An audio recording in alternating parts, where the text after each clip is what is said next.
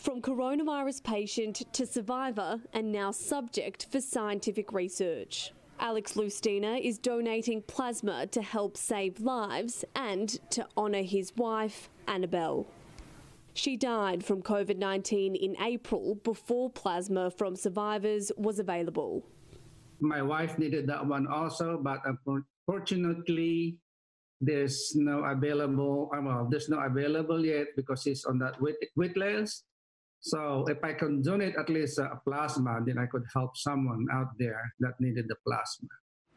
Lustina says he still has a lingering cough and his taste hasn't come back, but scientists say he might have the antibodies that attack the virus. He's participating in an American Red Cross program. The organisation is collecting thousands of donations from COVID 19 survivors to use in hospitals across the country. Anthony Levesque is an emergency medical supervisor in New Jersey. He looked after his wife who had the virus. He then contracted it himself the same week he lost two colleagues to COVID 19. I didn't eat, I didn't have an appetite. I, I, was very thirsty though when I wasn't sleeping. I probably slept for about 20 hours a day. It, it was harder emotionally than anything. Um, the one coworker that passed away, he left behind two children and I, I didn't want my kids to wind up in that predicament. I did learn in there I will never take anything for granted again.